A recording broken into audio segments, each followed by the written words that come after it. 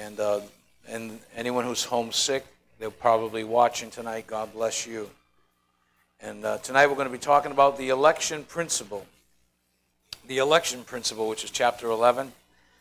Uh, it's a very short chapter, um, not too much to it. But um, there's a lot of talk about election. and there's a, a lot of misunderstanding about election. I'm going to give you a website that you can go to. There's a, a really, really, really good article on election and chosen predestination, all of those things. It's called Why God Did Not Elect Calvinists. Okay? So if, I want you to write this down www.douglashamp,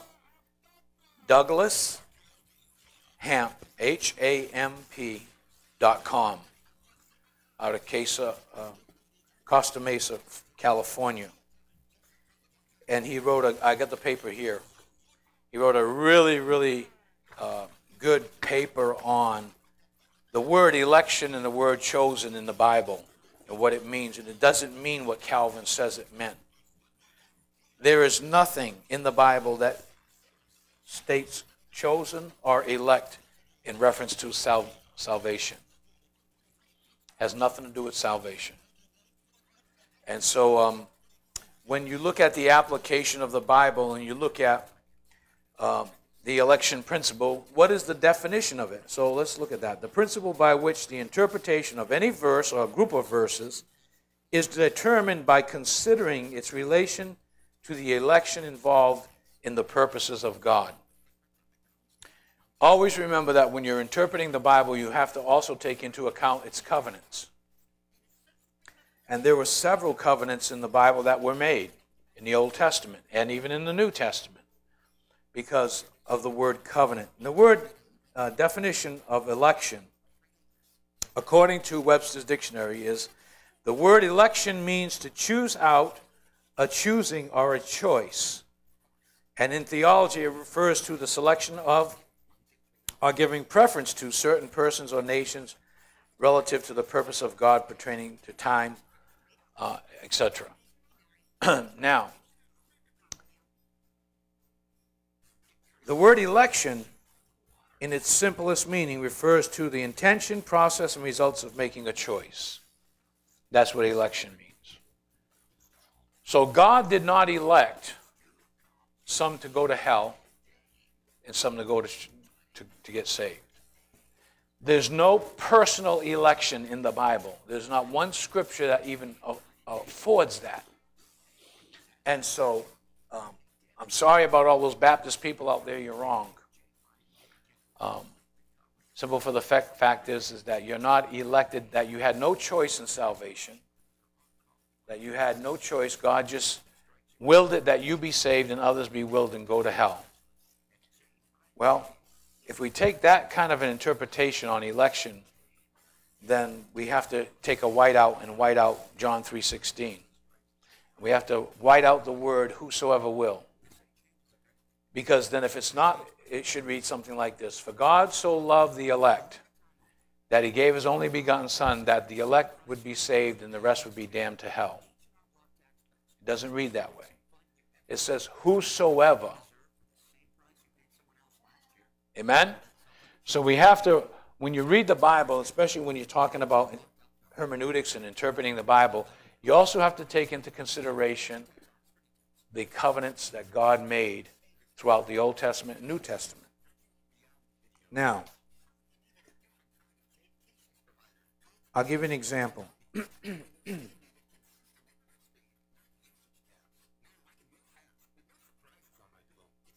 In Malachi chapter 1, verses 2 and 3, we're going to look at that tonight.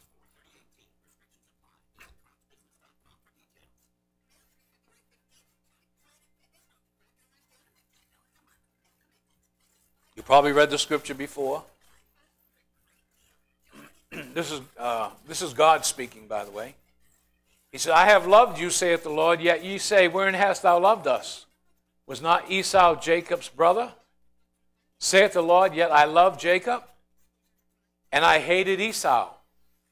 and laid his mountains and his heritage waste for the dragons of the wilderness.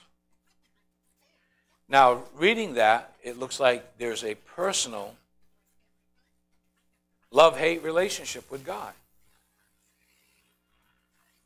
So, how are we going to find the true meaning of this, of this word? Esau, uh, Jacob have I loved, and Esau have I hated. How do we do that? What's the proper way of going back and interpreting the Bible? Remember, we've been teaching you about the first mention principle and all that. So now you have to go back and you have to look at something like Genesis 25, verses 19 to 34. And we're going to read those, those scriptures, so it might take a little while. And these are the generations of Isaac, Abraham's son. Abraham begot Isaac. And you can just keep going when I finish the, the verse. And Isaac was 40 years old when he took Rebekah to, to wife, the daughter of Bethuel, of the Syrian of the Pan, Padanaram, the sister of Laban, the Syrian. Isaac entreated the Lord for his wife because she was barren. And the Lord was entreated of him, and Rebekah, his wife, conceived. And the children struggled together within her. She had twins. And she said, If it be so, why am I thus? And she went to inquire of the Lord. And the Lord said unto her, Whoa, wait, wait, whoa, whoa, whoa, whoa. Two nations are in your womb? Those are two babies. Two nations are in thy womb. And two manner of people shall be separated from thy bowels, and the one people shall be stronger than the other people, and the elder shall serve the younger. Keep going. And when her days to be delivered were fulfilled, behold, there were twins in her womb. Let's stop right there for a moment. Now, how do we reconcile that scripture with John 3:16? For God so loved the world.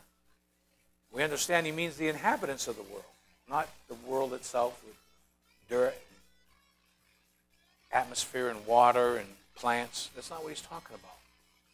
He says, For God so loved the inhabitants of the world people. So, how do we reconcile that? And if we look at it, it almost looks like a contradiction because here God is saying, Esau have I, uh, Jacob have I loved, Esau have I hated. So, how can that be if God loves the world and gave his only son that whosoever believes? Well, the answer is this. See, we, when we look at things, we look at things only from the here and now. Okay? God looks at things not only of the past, the present, but also the future. And God knows the two nations that were coming out of her womb. And he loved Jacob for what Jacob was going to represent and what was going to come out of Jacob, and he hated what was going to come out of Esau in the nation of, of Edom, I believe it was. So you see, it was two nations. It was the people that would turn against that wouldn't want anything to do with God. They were pagan, paganistic. They would, they would actually kill some of the Jews. They would be enemies to the cross. They'd be enemies to the Jews, rather. So it was two nations represented there. We, we don't have to go on with the other scriptures, but you see the difference? That's why it's so important to go back and read the first mentioned principle and find out what it was that was on God's heart. It was two nations. Now, we talked about this before. Does God have the power to hate? Yes, He does. We read that in Malachi uh, chapter 9, verse 15, a while back. Um, that uh, He says uh, to Israel, He says, I loved you and I love you no more. And I, I've, learned, I've come to hate you. So again, I'm paraphrasing that, of course, but that's the gist of the scripture. So again, God does have that. If He can be grieved, the Holy Spirit can be grieved well, if the Holy Spirit can be grieved, then he has emotion, he has feeling. If he, be, if he can become quenched, Bible says, quench not the Holy Spirit. So if he be, can be quenched, so some people agree, some people disagree, but I, I believe that he's a personal God. I believe that he can love who he loves and hates who he loves. So the word predestined doesn't mean that God has forced his choice on you. Or foreknowledge. That because God knew it before time, that it forced you to make the decision. No, it didn't. Just because God knows something in the future doesn't mean that he makes you do it. That you're some kind of robot that's just going to come to him because he desires, like a wind-up toy, it's going to wind you up and you have no choice in the matter. If that's the case, then God violated the very thing that he gave Adam and Eve in the Garden of Eden. That was free will. Amen? God gave that as a gift, free will. So if God gave free will and yet is predestined and elected each individual, then he could have just predestined Adam and Eve to not sin. And we wouldn't be in the mess we we're in. And see, the people that, that end up in hell could turn their fingers against God and say, God, I had no choice in the matter. You predestined me to hell. And that's not just. You put me in hell. I don't, I, you didn't give me a chance. I was already predestined for that. And of course, the big thing is, is what about Judas Iscariot? Yeah, he was, he was, he was, God had foreknowledge, or, or uh, he was the son of perdition, the Bible says. Okay? And he was chosen for that out of God's foreknowledge because God knew that Judas would repent. But it didn't mean that God made him make that choice. In fact, I don't know any leader anywhere in a corporation, okay, that would take a thief and put him in charge of the money. I don't know any church that would make a thief, a, a known thief, okay, in the community was a known thief, okay, and put him in charge of church finances. But Jesus, Jesus did. He chose him. He, he chose him. Why did he do that? To give every opportunity.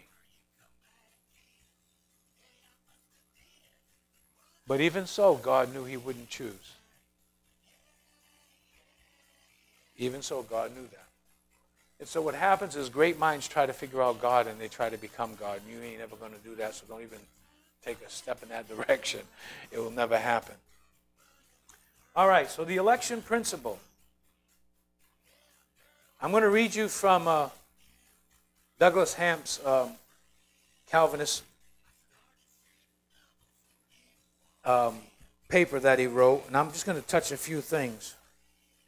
He says here, and I quote, the term elect and its derivatives, therefore, are not salvific in meaning but simply refer to persons or things that are chosen for a particular purpose, and that purpose has nothing to do with eternal life. Once the definition of the word is established biblically, the foundation of Calvinism will be undermined and will collapse. And arguing the tenets of tulip will become inapplicable. If you don't know what tulip is, look it up. Okay. The word elect means to choose or to select. In the Bible, there's elections of priests, there's elections of kings, there's election of disciples, but none of them, none of them was without the people making the choice. First of all, you have Saul, the king, right? Who chose Saul?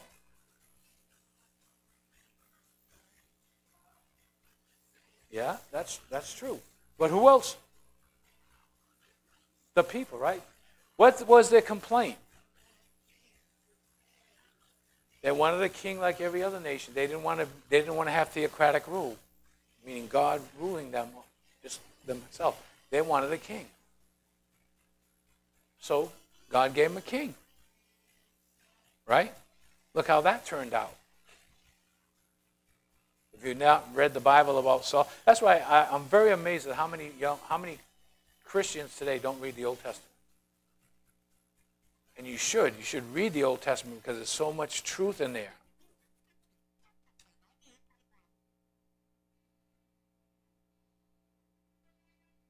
Um, remember when um, Saul rejected the word of the Lord, the Bible says that the Lord, he said, has also rejected you from being king anymore. But if he was chosen to be the king and he was elected to be the king, he should still be the king. No. The biggest one I found with Christians is this is that they say, well, once saved, always saved. Once you make that decision, you know, you're always saved. You'll never fall away. God knows you're in the palm of his hand, and they take all these scriptures out of context. Well, my first question is this is then if salvation and election and predestination has nothing to do with your choice that you're saved whether you like it or not, eventually you're just going to be saved. And that your salvation is eternal, secure, you don't have to worry about it. You're going to, you're going to make it no matter how you live, no matter what you do. Then my question is, is that why in Revelation did he say, if you do, I will blot your name out of the book of life? How can you blot someone's name out if they're eternally secure?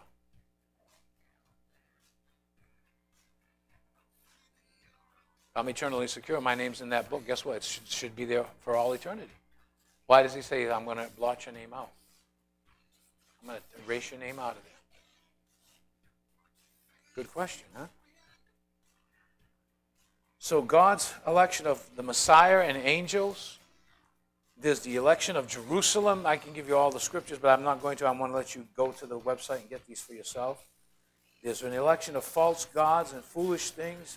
The election of, of, of Israel. Israel was chosen, Israel was elected. Uh, the few are chosen. Many are called, but few are chosen. You know that scripture in Matthew. Who's he talking to?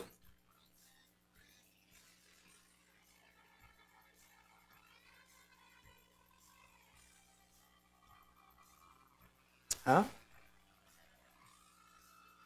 In Matthew 22, verse 14.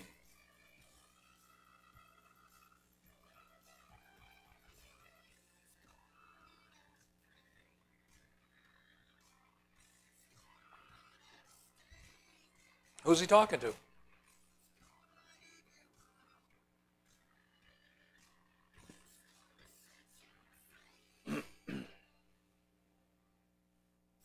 Huh? Don't be afraid. Who's he talking to?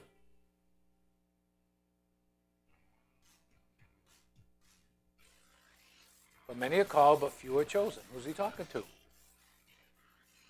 Huh? To us? Okay, so if I asked you, where do you get that from, from for us? How would you how would you prove your premise?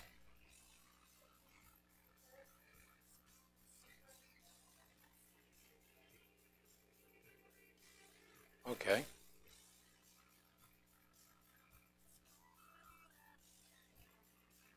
Actually, he's rebuking the Pharisees.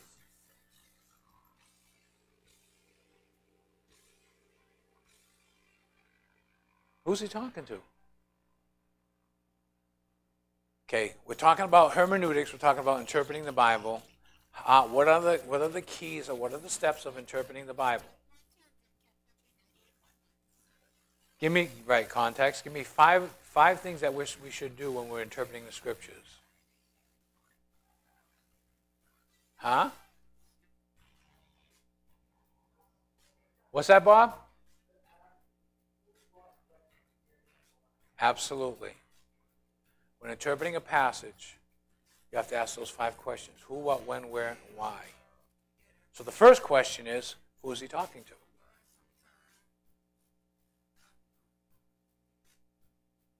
to? Okay? This is an exercise for you to get used to knowing what I'm saying. Because there's no sense in going through this if you don't understand what the, the hermeneutics as far as how to interpret the Bible. Okay, let me ask you this question. Who was Matthew written to? Right. How do we know that? Because if you go to Matthew chapter 1, it tells you all the genealogy of the Messiah. Right? And if you go through all that, when, when you understand, now there are principles that we can learn from that. Like the Bible says, those things that were written aforetime were written for our learning, for our example. Well, those things that were written aforetime is not just the Old Testament. It's also the New Testament because most of the New Te- Testament and, and the Old Testament was not canonized together back then. They didn't have a Bible like you have a Bible today. Okay. Now let me ask you this. When you look at the Bible, what is that made up of? Huh? Books? Words? Okay. What else? Especially the New Testament.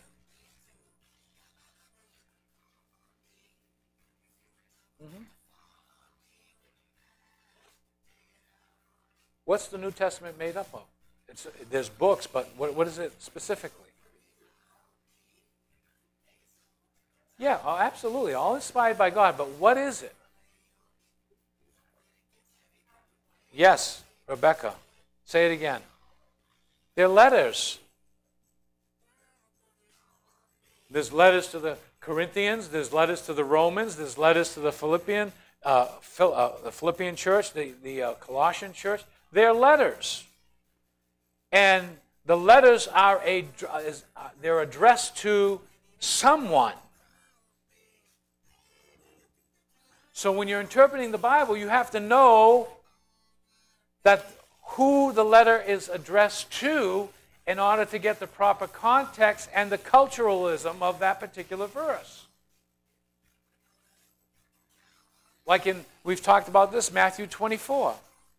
When Jesus talked about, he says that in the end times, you know, even the very elect will be deceived. There's the word elect and chosen. Now, a lot of people think that that's Christians. But if you read the context there, that's during the time of the tribulation.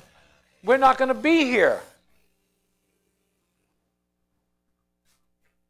And then he tells them, when you see the sun turn to, you know, to blood and the, the moon turn to blood and the sun get darkened, it says, flee into Judea.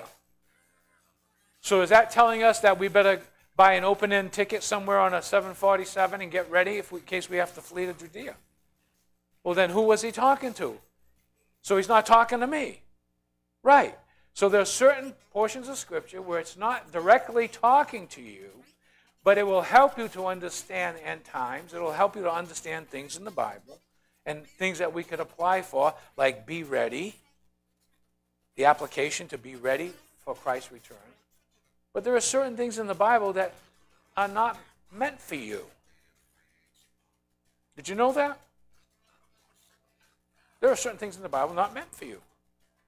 It's not meant for you to go get a goat, kill it, and pour its blood on an altar. Hello? It's not meant for you to keep the Sabbaths.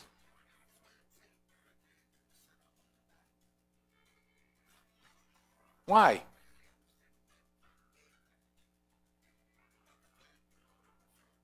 We're not Jewish, not living in the level. What else? Jesus fulfilled it. He's our rest. He said that. He's, the, he's, the, he's our rest. Now, do we take a day to go and worship together? Yeah, the first day of the week, which was on the Jewish calendar Sunday, which was the day of resurrection. And that's, what we, that's why we come together and we rejoice and we celebrate the resurrection of Jesus Christ, not on Easter once a year, but every day. Every Sunday when we come together. So when we interpret the Bible, you have to interpret it in its cultural, contextual setting. You cannot um, make it personal if it's not directed to you personally. You can take principles and teachings from it and learn from it, but you cannot change the original intent of the letter. Okay, like 1 Peter. Let's go to 1 Peter chapter 1. Let me show you what I'm talking about.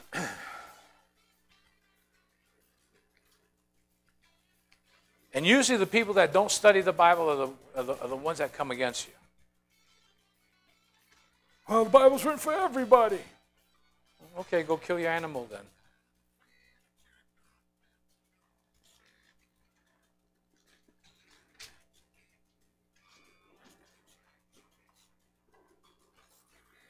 Now, 1 Peter chapter 1. Do you have the NLT version up there? I think you do, right? Give me the NLT version. I want to see what it says.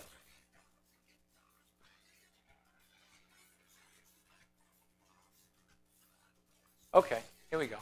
This letter is from Peter, an apostle of Jesus Christ. I'm writing to God's chosen people who are living as foreigners in the provinces of Pontus, Galatia, Cappadocia, Asia, and Bithynia. But if you look in the Greek, it says, uh, let me read you uh, King James first. It says, Paul, uh, Peter, an apostle of Jesus Christ, to the strangers scattered throughout Pontus, Galatia. The word strangers comes from the Greek word diaspora. The word diaspora means those who were dispersed. Who were they? They were Jews. They were Jews. They were Jews that went to Babylon, and then when, when they were returning, many of those Jews stayed in Babylon. Only a few remnant came out of Babylon. The rest stayed there and grew there and grew their families there. But my point is this, okay? If you read the next verse, it says,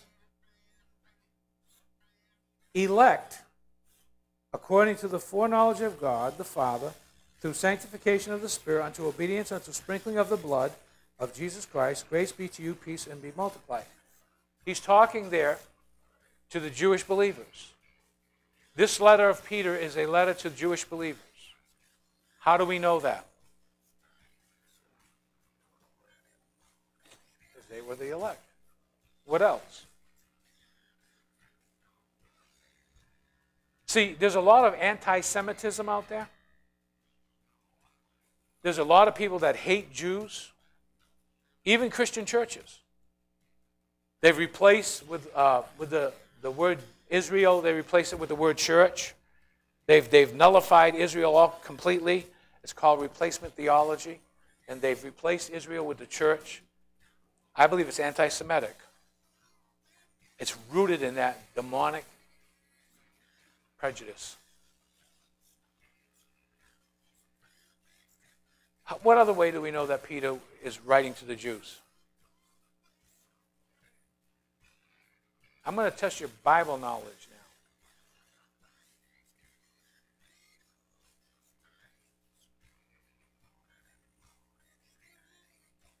How else can we know that? Okay, let me ask you a question.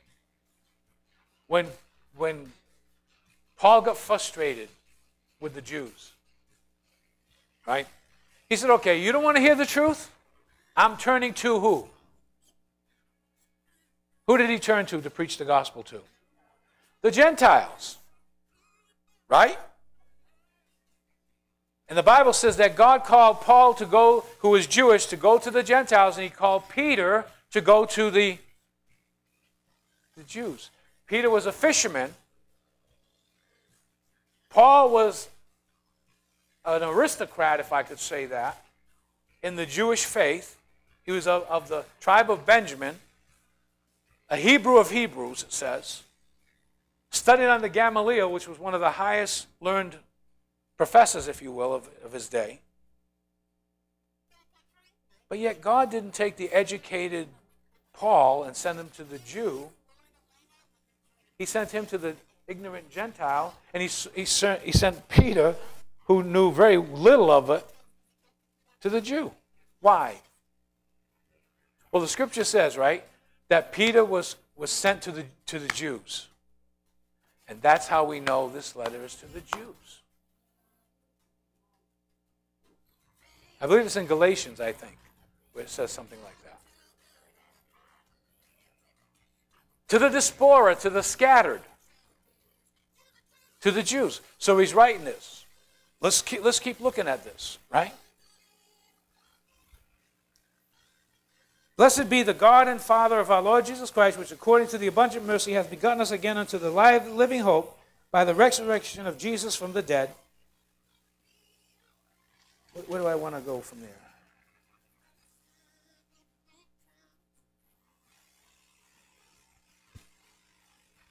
Where is it that it says, but you are a chosen generation? Okay, 2 9. Go to 2 9. Okay, look at this.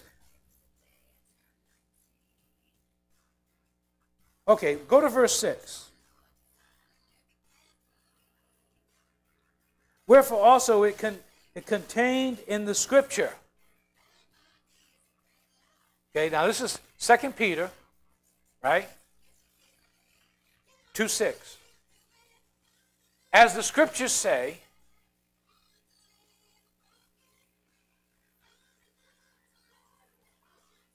First Peter 2 6, what's up there? As the scriptures say, what scripture? Let me ask you that question. What scripture? The Old Testament. There was no canonized New Testament at this time when Peter wrote this. You follow me? Everybody following me? They didn't have a Bible like this with all the letters all together. There was no canonized scripture yet.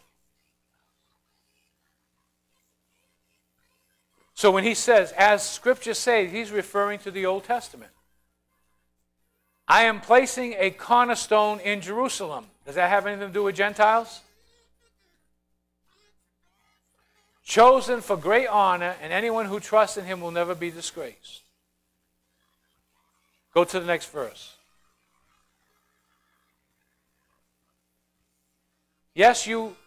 Um, can you do me a favor? Switch that back to King James. I'm getting a little lost. Unto you, therefore, which believe, he is precious. But unto them which be disobedient, the stone which the builders allowed, the same is made the head of the corner. The stone which the builders disallowed, that's Israel. Okay, go to the next verse. And a stone of stumbling. Paul said to the Jew, the preaching of the cross to the Jew was what? a stumbling block. To the Greek, it was foolishness. But to us which are saved, it is the power of God. So the stumbling was to the Jews. Being disobedient until they were appointed. Okay, next verse. Here we go. Look at this. But ye are a chosen generation, a royal priesthood, a holy nation. Nowhere has the church been called a nation. The church is spiritual. So who's he talking to? Talking to the Jews. What other way can we prove that? He says, You are a chosen generation, royal priesthood, a holy nation. How else can we prove that? It's to the Jews. Well, they were the chosen people, but how can we? That's good to say, but how do we prove that? What are we talking about? What's our lesson? What are we learning? How to interpret the Bible? What do we, what's one of the greatest tools of ter- interpreting the Bible? Principle of first mention. Who said that? Mama Linda. okay, the principle of first mention. Has this been mentioned anywhere else? Yeah. Huh? No.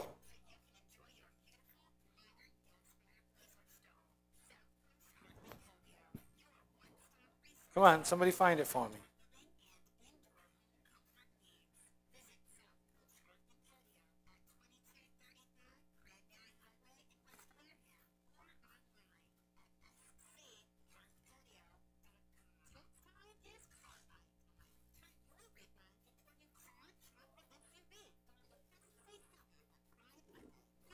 Exodus 40, 15. Can you put that up there for a minute?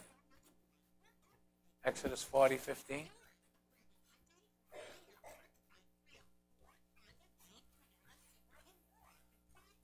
No.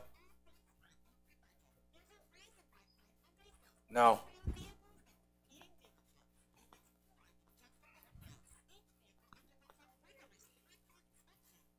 Isaiah 8:14. Try that one.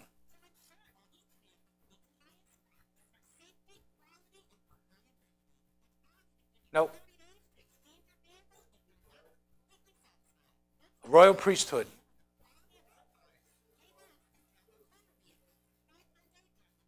Holy nation.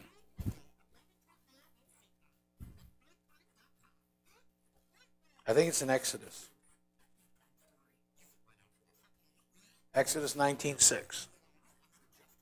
I'm just throwing this one out there for you. So and you shall be unto me a kingdom of priests and a holy nation.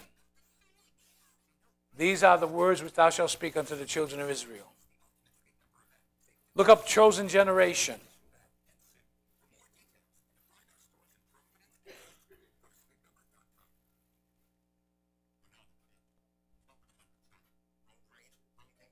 No, the, that we already know that one.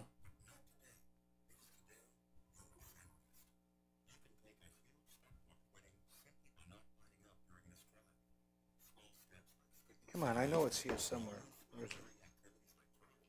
Let me get rid of these.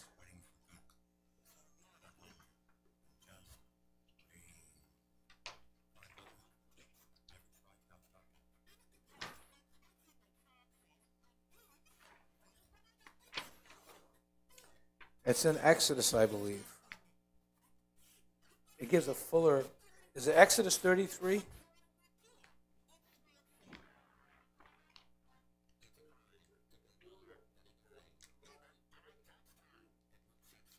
Okay, let's look at that.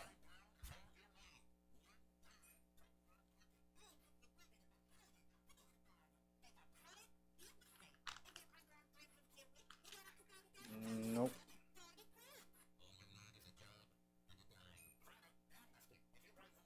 Oh, wait a minute. Let me look at this. Hold on.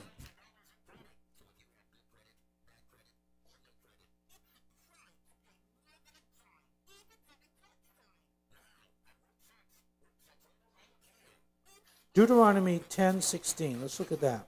10:15. I'm sorry. I have my glasses.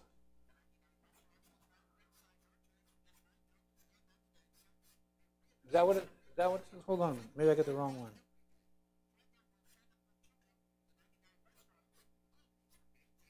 Exodus 19:5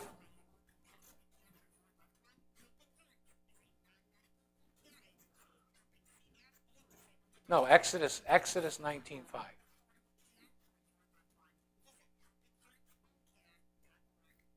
Yeah.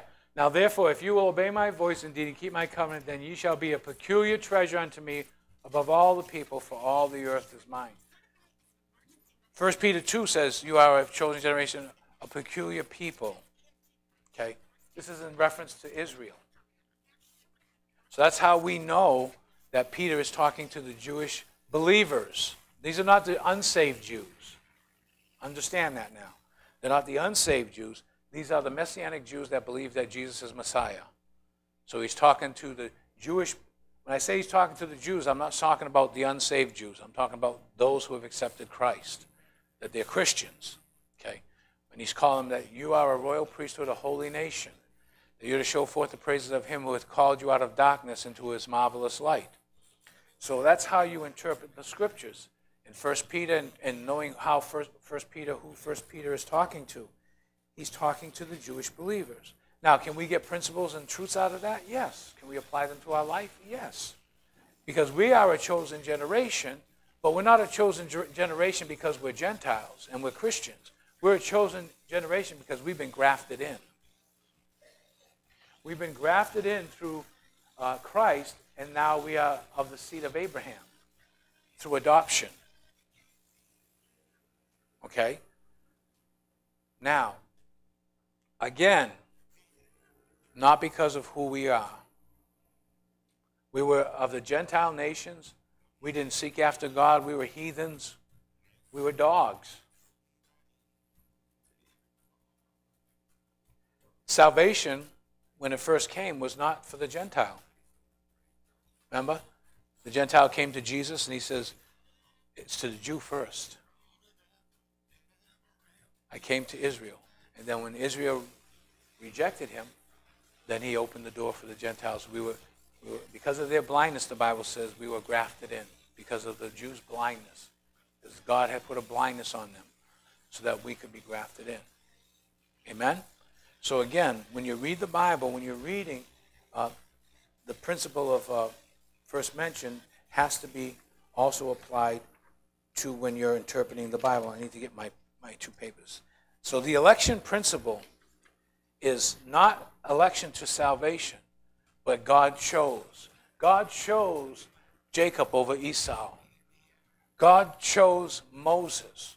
God chose Aaron. God chose different leaders in the Bible. He chose David. He chose Joseph.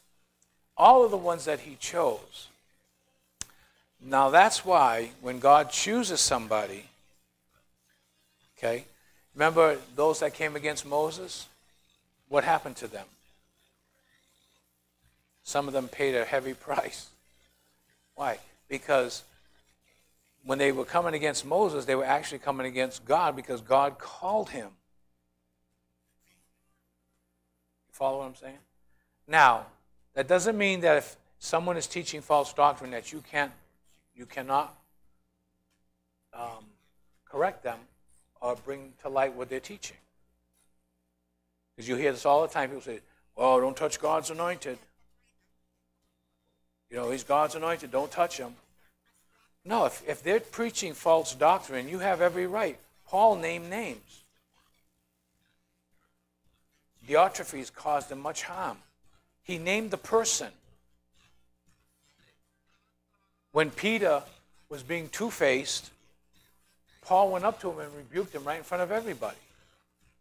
Was Peter anointed? Was Peter called? Was he? So if he was called, and Paul went up to him and confronted him because remember when he was with the Jews, eat with the Jew, uh, when the Gentiles, he'd eat with the Gentiles. But when the Jews were around, he wouldn't eat with the Gentiles. He was being hypocritical. So Paul came and he corrected him. He said, No, you're, you're a hypocrite, what you're doing. He corrected him. So it doesn't mean you can't correct a leader if they're teaching false doctrine.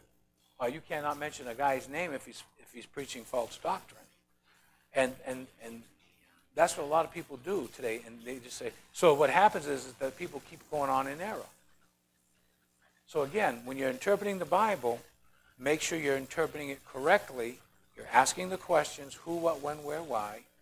Okay? When it, when it comes to the election principle, know what covenant they're talking about. Know when God says they were elect. Who was elect? When were they elect? You know, uh, uh going back to Matthew 24 again. When you read that, if you read that, you say, well, he's got to be talking to the Jews because he's saying, when you see these things happen, flee to Judea. And where is Jesus coming back the second time? Huh? How do you know that?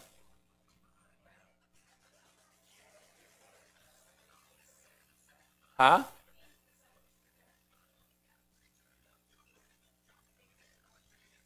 The same way, but not only the same way, the same place.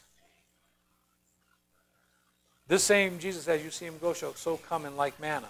So where he left from, he's coming back. But that's New Testament. Is there anything in the Old Testament?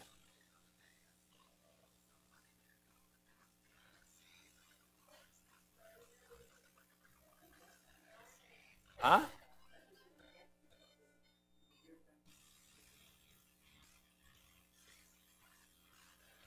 I believe it's Zechariah. I believe it's Zechariah. Talks about coming back again to Mount, to Mount Olives. Okay, put up Zechariah 14.4.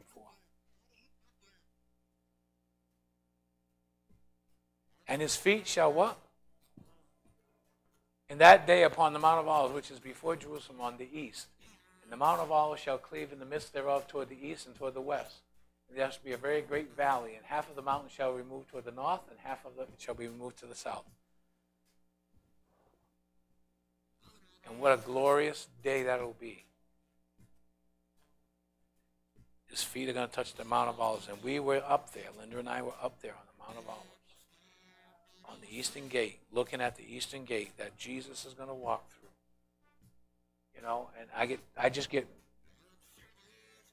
chills, if I can say that word, when I think about it. That we were standing in the very place that one day, whether we, you know, it's 100 years from now, or 10 years from now, or five years from now, we're standing on the mountain that's going to cleave in two. From the very spot Jesus left, you know, he was up there somewhere, and that's where he ascended from. And you can imagine all the disciples, there was over 500 witnesses that were all there. They saw him go. And they said, This same Jesus, as you see him go, shall come in like manner. Right there. We were there on that mountain. And it's going to happen. So again, with the election principle, know that it's just a word that means chosen. It has nothing to do with salvation. Okay. Are we predestined? Okay, the only thing we're predestined to is the image of Christ to be changed as a Christian. But individualistic salvation that you were you had no choice in coming to Jesus. You, God, God just made you. You had no choice. A Christian. Yeah, but he didn't make you be a Christian. Yeah, he already knew it because he's God. He knows everything.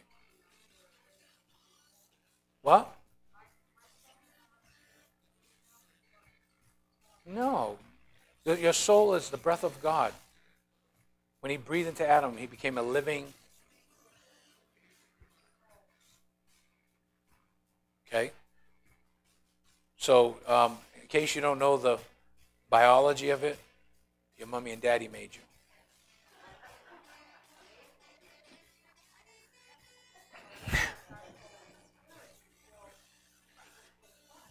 No, you weren't a spirit floating around somewhere. No. Where'd you get that from? So your spirit, Jeanette, was Jeanette was flying around somewhere?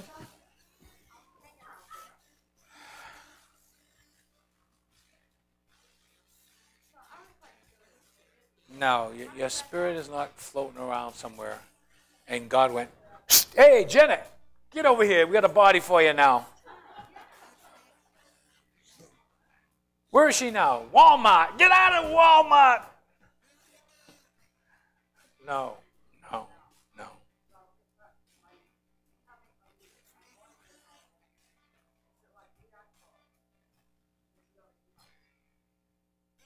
What do you mean? That's different. You're talking about vocation. That's different.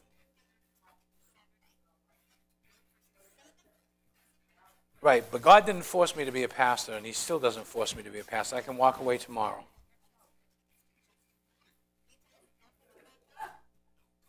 But it doesn't mean that, that that forces me to keep doing it.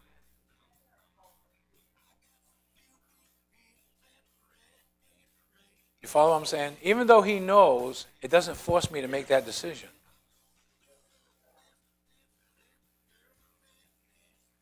I'm called. But if I don't answer the call, was Judas called? He was called to serve,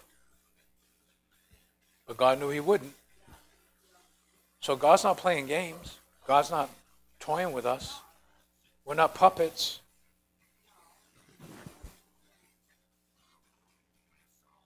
So your mommy and daddy made you, okay? And then God breathed the breath of life in you when you came out of your mother's womb. The devil, the, the devil, the doctor gave you a slap, okay? It could have been a devil too. It gave you a slap. Yeah, yeah, yeah, yeah. And the breath came out, and you know they cut the umbilical cord. And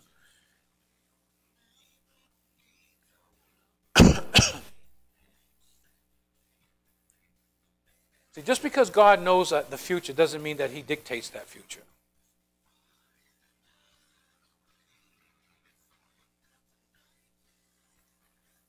God told, uh, was it Joshua said, Choose you this day whom you will serve. If God be God, serve him. If Baal or whatever God, serve them.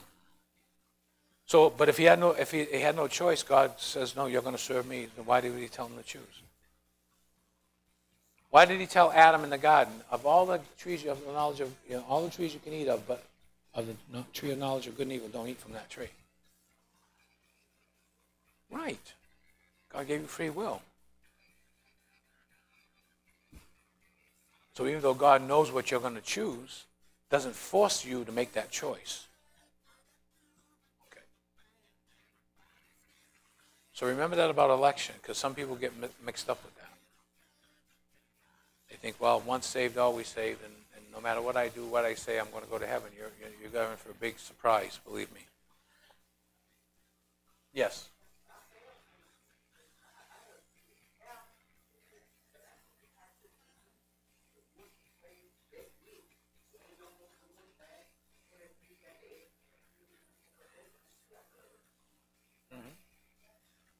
Well, Israel too. Put up, put up Hosea 9.15.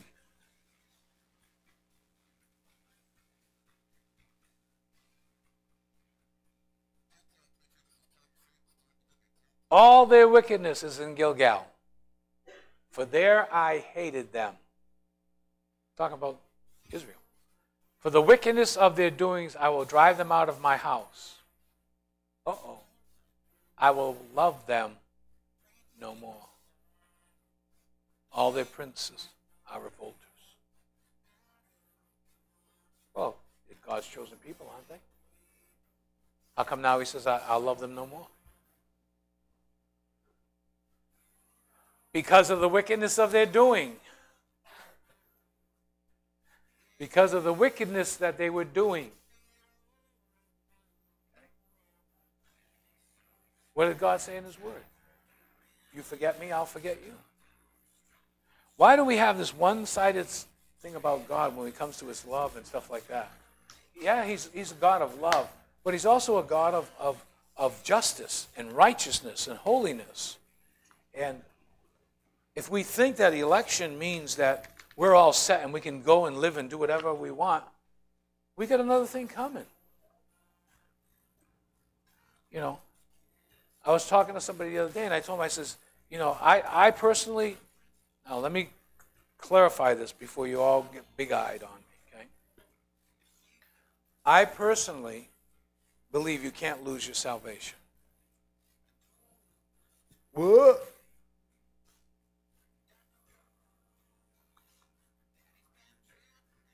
Okay?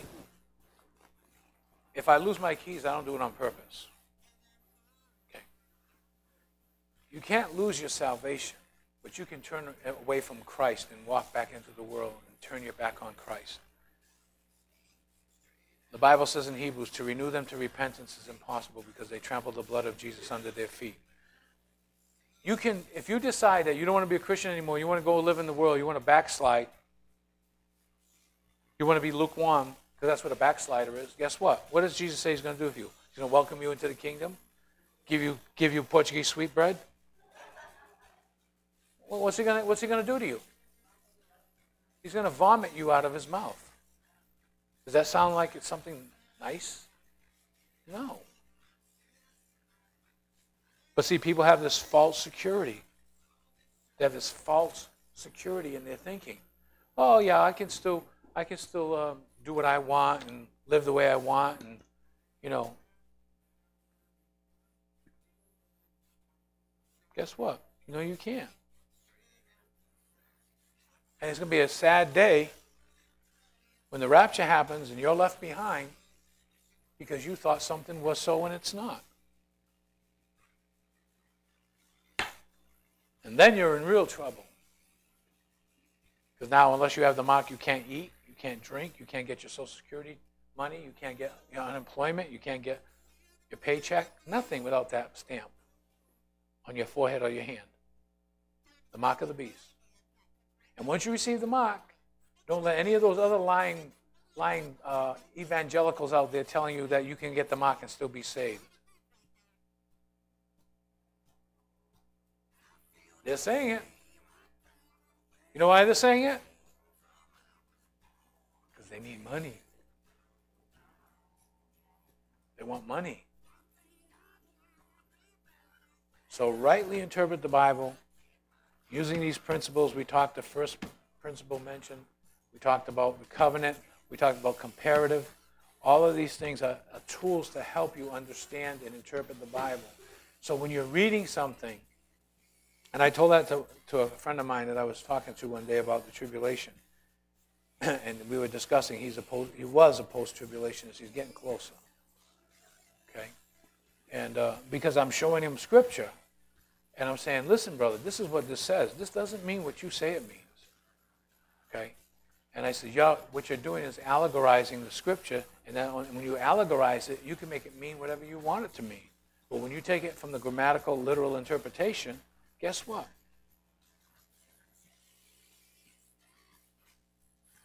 Any other questions? Okay, let's close Lord, thank you that we are fearfully and wonderfully made. Thank you for our parents, Lord, that brought us into this world so that we could experience life, but not only this life, but we could experience eternal life. Jesus Christ. He is the way, the truth, and the life. And Father, if we have him, we have eternal life. If we don't have him, we don't have life. And so, Father, I pray, Lord, that you would help us to be able to interpret the Bible correctly. That, Lord, we will use the historical, grammatical interpretation of Scripture, not fly off the handle with these, quote, flaky revelations and inserts of people thinking that they're interpreting the Bible with their own ways and their own thinking. Help us, Lord, that we don't do that either. But we compare Scripture with Scripture, interpreting Scripture with Scripture. And help us to be good stewards and help us to study to show ourselves approved unto you. A workman that need not be ashamed, rightly dividing the word. And we give you praise in Jesus' name. Amen.